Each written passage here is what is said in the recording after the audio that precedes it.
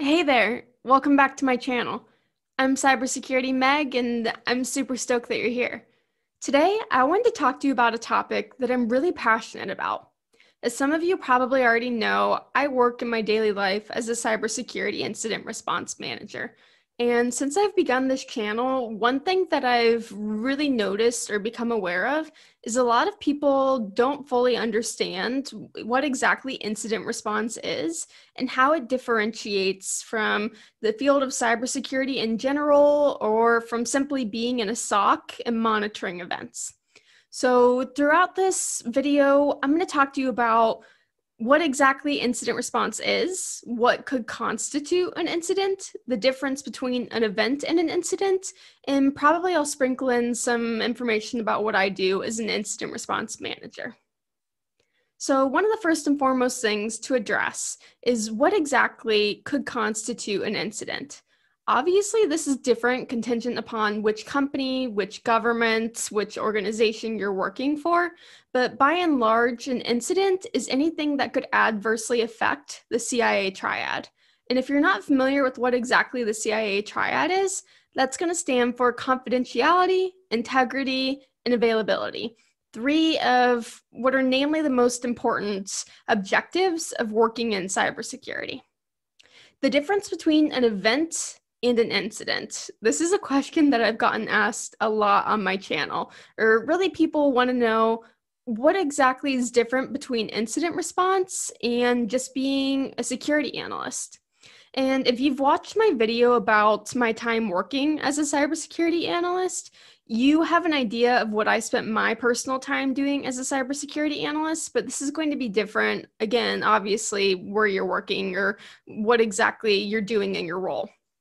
So the large difference between a security analyst and incident response is a lot of times security analysts or SOC analysts, they could be different. They are ingesting a very large amount of data, whether they're looking at a SIEM, going through a SOAR, going through alerts that are coming from all of their security appliances. All of these alerts, these are going to be events. An event is simply just what is being produced from your security appliance, and it hasn't been analyzed or vetted yet. So it could be a false positive, it could be a false negative. You're not really sure until you analyze it. Generally, the main difference between an event and an incident is that an event is going to be analyzed and it can turn into an incident. So, at what point does an event become an incident? Usually like i said this is when you're having something that's going to adversely affect the confidentiality integrity or availability of your organization. And that's when you kind of initiate the incident response protocol so then you're probably like, Meg, well, what exactly is an incident response protocol? And I'm going to do an entire series on incident response because I find it so fascinating and there's so much to talk about. And frankly, it's becoming more and more important as more breaches happen and cybersecurity is obviously trending and with COVID and everyone working from home. But nonetheless, I digress. I'll save that for another video. The point here is to give you a little bit more information about an introduction to incident response. So, at the point that maybe a tier one analyst receives an event from a SIEM, they're obviously going to do an investigation. Why did your SIEM or why did your security appliance alert on this specific event? Why is it having you review it, analyze it, or investigate it? Obviously, the analyst is going to determine with the resources they have if they think that event is a true positive and if it's going to have any damage to the company. What's the severity of the event? What's the impact going to be? Is there going to be financial risk involved? Is there going to be reputational risk involved? What is going to be the effect of this event occurring? Again, contingent upon where you're working, you take all these factors into mind the possible financial costs, reputational risk, all of the above, and that's when you determine if something should be an incident or not. Generally, once you determine if something's going to be an incident, you're going to initiate a CERT team. And that could be CIRT, which is a computer incident response team, or you can also have what's called an SIRT, a security incident response team. There's also a CSIRT, a computer security incident response team. Generally, they're pretty similar in their purpose. And the goal of incident response the final end goal of incident response is to restore a system or an issue to its previous state where it's fully functioning before running into whatever incident occurred. So you want to get things back to normal. You want to get whatever was in production beforehand and functioning properly back to where it was before the incident occurred. So then you kind of have to sit there and think incident response is from detection of the event, determining it's an incident and getting all the way through to remediating the incident as well as getting things back to how they were before and importantly very importantly ensuring that you're putting the proper controls and measures into place that are going to prevent this incident from reoccurring again in the future. So what happens all in between? Well a lot of things happen in between. it all depends what kind of incident you're working. Is it a fraud incident? Is it a data breach? Was an SAP system breached? What happened? Generally when an incident is qualified because you always want to make sure to qualify an incident. This is a large step. You don't want to expend your resources time finances and effort working on something only to find out that it is a false positive. And then you've spent all this time you've cried wolf you've gotten all these resources from different teams and then you're like well heck this is this is not an incident that's not good and frankly that quickly diminishes the credibility and the value of your security incident response team. So you really want to make sure that when you're enacting a security incident response team that you are doing so because there is an actual threat or some vulnerability has been exploited and there's a legitimate incident, right? So once your security incident response team has confirmed that there is, in fact, an incident, there are many steps that occur. But namely, what you're going to be doing is you're going to be trying to document everything, acquire all the evidence that you can. Um, this is especially pertinent if any litigation in court is going to occur. So you always want to make sure that whatever anyone who's related to the incident is doing is documented, they're providing evidence, they're marking down time times, locations, IP addresses, who's putting their hands on the system, when was the system touched, any and all information that could be pertinent to the investigation or helping you to rebuild a timeline of what occurred in the incident. That's generally one of the first and foremost things. Um, also, there's always this argument between do you start documenting and collecting evidence first, or is it more important to contain an incident first? Really, depending on who you talk to or which framework you're looking at, because there are many frameworks which govern how to do incident response, whether you're looking at NIST or SANS or whoever, they all have ideals on how things should occur. This is a very large debate in the community.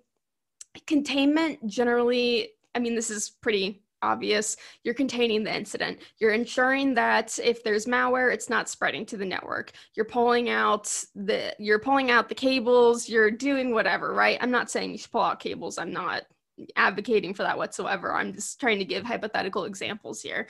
Um, so containing, you're stopping the spread, you're minimizing the impact, you're making sure that that event, excuse me, that incident stays isolated to the machine or to the user or to the application that the incident occurred on. So generally, once you've contained this is where you want to mitigate. You want to mitigate the effects of what has happened. So you're looking to reduce the impact of it, right?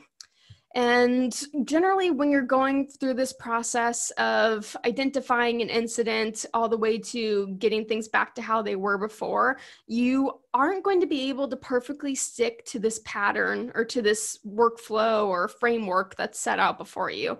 Um, unfortunately, even for the most mature security incident response teams, you can see that people will hop all over the place. They may go from containing and then they're documenting, and then they're also working with other teams to discuss remediation.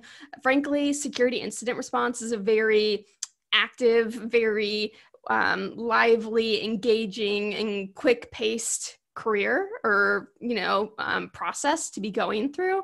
So this is not by any means like a strict formula that you have to go through. These are just kind of the general basic things that people experience when reacting to an incident. So once you've contained and you're mitigating, um, and you're always documenting, like I mentioned, documentation is huge throughout this entire process. You're going to, at some point, decide does this incident need to be reported? do you need to report to a, um, a data authority? Did you have a GDPR breach? Do you only have 72 hours where you need to report to the appropriate authorities about some data breach? Do you need to involve the FBI? Do you need to get your local police involved? This is going to be a decision that's going to be made generally by the your CISO, your higher level senior management, your incident response management team, and those individuals. So once you've contained, mitigated, you're deciding on reporting, of course, you're going to want to consider how do you get things back to putting them back to how they were before, right? So you want to restore functionality, um, but you want to make sure when you're restoring things that you're not putting the environment back into a vulnerable state that's susceptible to being exploited again, right? Because then that would completely defeat the purpose of the incident response process to just simply go back and put something exactly how you found it it's it defeats the process don't be that person so, of course, this kind of brings into question what can you do to prevent the incident from reoccurring? You generally might break this down into several different factors. What can you do in the short term? What do you have the resources for right then and there that you can do to fix it and keep it from reoccurring? That might be something that you can do within a few weeks of time you also want to consider your medium and your long term kind of um, steps to prevent reoccurrence. So, what can you do in the next few months? Maybe you need to buy something. What can you do in the next six months to a year plus is your long term actions? And generally, those might require, you know, purchasing a new tool or hiring someone new onto your team, those kind of things that take more resources, more time. So once you're determining exactly how you can prevent something from reoccurring, obviously you're wanting to restore things to pre-incident what happened. Um, you obviously want to make the system or the application, whatever occurred, more secure than it was when the incident happened. That's the whole point of it, right? So once you're able to restore to where you were before, or ideally, obviously being more secure and preventing the incident from reoccurring, you generally, if you're experiencing an incident that's large enough, are going to have a post-mortem discussion. You're going to talk about why did the incident happen? What failed? How could the team who responded, the SIR or any of your IT or your business personnel, how can you do better? What can you fix for next time? Um, could your communication improve? Could you have handled communication outside of your organization improved? Generally, you're just going to be discussing things that you could do better, things that can prevent um, overall similar incidents from reoccurring, and you're and you're analyzing how you responded to the incidents. You're probably going to find that there are many things that you can do to improve, and this might involve editing or updating some of your policies or standards you're really going to want to take this into account um, in your kind of post-mortem analysis your incident response analysis because it's always about constant improvement with incident response. The point of incident response would be nullified. It would be completely worthless if you weren't constantly improving yourselves to make sure that the incident doesn't reoccur again so that's kind of a bit of a very broad and very general overview of an incident response process. Of course, this can get much more detailed. And like I mentioned, there are many frameworks that outline how theoretically this should happen. But I wanted to kind of provide you why that incident response is different than perhaps just being a SOC or security analyst, right? So a normal SOC or security analyst, which again, I recognize they can be different things too, they're going to be evaluating events. Um, is this you know, not every phishing email is going to be an incident. Sure, a phishing email where someone gives their passwords and you don't have two factor authentication on, and the user inputs their credentials to the network, and it's just a whole mess with that.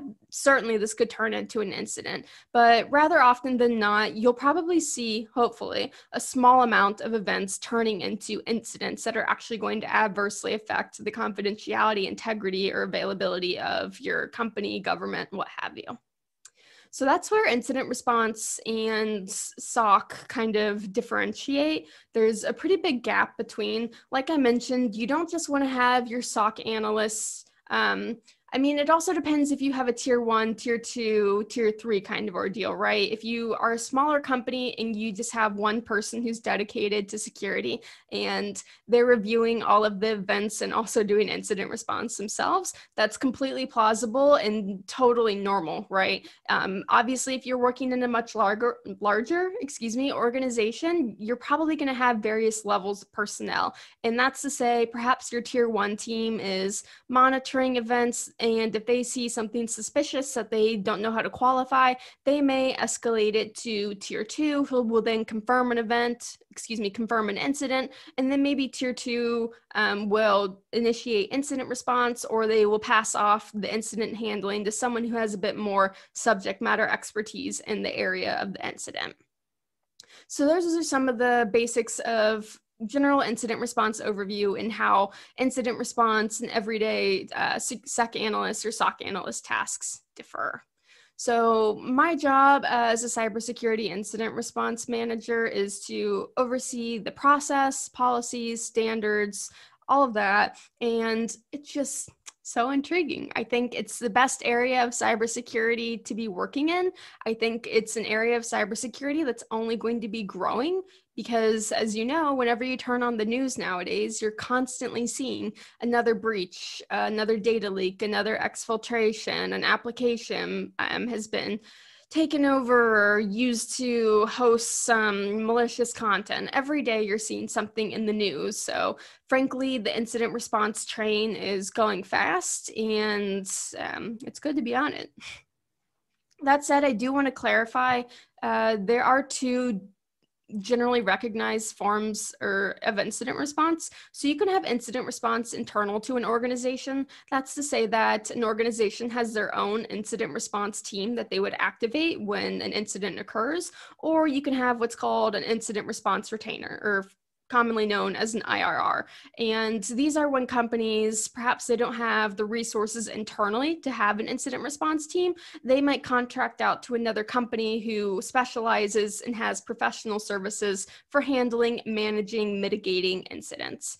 It's very common also to have both for larger organizations. Um, you might have an internal incident response team, but you might experience an incident that's so large that your team internally can't handle it all by themselves, whether due to resources, tools, whatever. And so then you call upon your incident response retainer. The point of the incident response retainer is to as it's called, always be on retainer services and to be there when needed. So they're going to be there when, for lack of a better word, shit hits the ceiling and you need help. I hope you found this discussion a little bit enlightening. I wanted to clarify a bit on incident response, kind of what it entails. I want to do a whole series on this because I think it's a really fascinating topic and a lot of people who have inquired about it and they're interested in it. So if you have any questions about it or any specific topics you'd like me to cover in future incident response videos, I'd be really happy to do so feel free to engage with me ask me any questions. I'd love to help you or discuss incident or any anything really with you. So yeah let me know down below dm me whatever. Let's talk. I hope you guys have a great rest of your day. Happy thanksgiving if you're in the us and that's it for now. Ciao